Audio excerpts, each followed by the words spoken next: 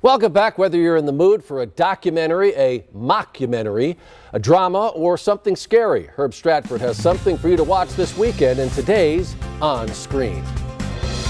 We've got quite a mix of new titles debuting on screens large and small this week. Gabby Giffords Won't Back Down tells the story of our former Congresswoman, Gabby Giffords, her relentless fight to recover following an assassination attempt in 2011, and her new life as one of the most effective activists in the battle against gun violence. A must see film. Marcel is a one inch tall shell who ekes out a colorful existence with his grandmother Connie and their pet lint, Alan. Once part of a sprawling community of shells, they now live alone as sole survivors of a mysterious tragedy. But when a documentary filmmaker discovers them amongst the clutter of his Airbnb, the short film he posts online brings Marcel millions of fans, as well as the unprecedented dangers and new hope of finding his long lost family.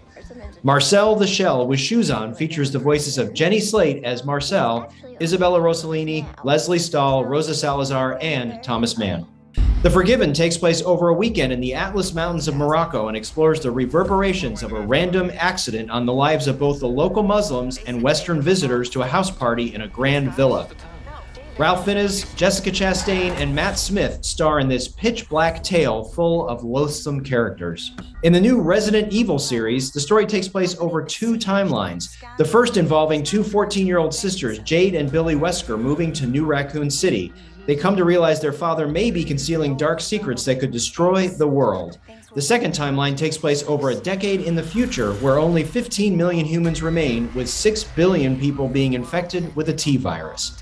Lance Reddick stars in this new big budget series entry into the long running film franchise. F Boys. Three women on a tropical island are joined by 24 men, where half of them are self proclaimed nice guys and the other half are F Boys. Who will the women choose and find real love with? Season 2 of F Boy Island is now streaming on HBO Max, and it's a wild ride. For News 4 Tucson, I'm Herb Stratford.